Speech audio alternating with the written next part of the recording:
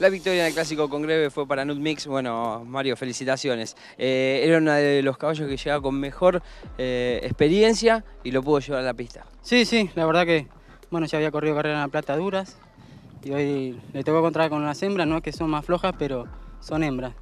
Así que bueno, le tocó, le tocó ganar bien. No tuvo una suelta buena, pero la verdad que el caballo se acomodó rápido y la verdad que ganó muy bien. Potrillo que corrió de firme toda la carrera. Sí, sí, sí, sí, cuando él se acomodó después de, de tener una suelta mala, el caballo arriba se llegó bien, se desprendió bien. Mario, ¿qué es lo que mejor tiene?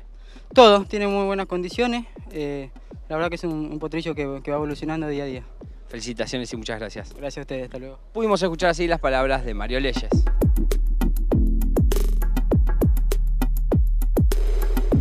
El clásico de enero fue para City Glam, vamos a hablar con Osvaldo Alderete. Bueno, Osvaldo, felicitaciones. Venía de reprisar, había corrido bien, pero bueno, hoy volvió a la victoria.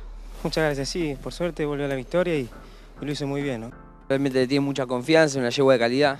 Sí, la verdad que tiene bastante calidad, es una yegua buena, hemos demostrado y está volviendo a lo que era. Y hoy rindió bárbaro. Hoy rindió bárbaro, ganó bien, a donde le pedí el final, me respondió bien. Felicitaciones y muchas gracias. Muchas gracias. Pudimos escuchar así las palabras de Osvaldo.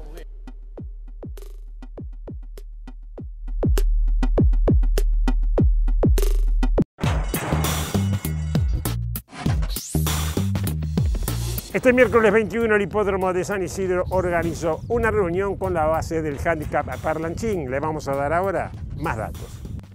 La reunión comienza a las 15 horas y finaliza a las 21 y 10. Serán 15 las carreras que se organizaron. Como base el handicap Parlanchín para animales de 5 años y más edad sobre la distancia de 1200 metros. Las próximas reuniones serán el viernes 23 y el domingo 25 de enero.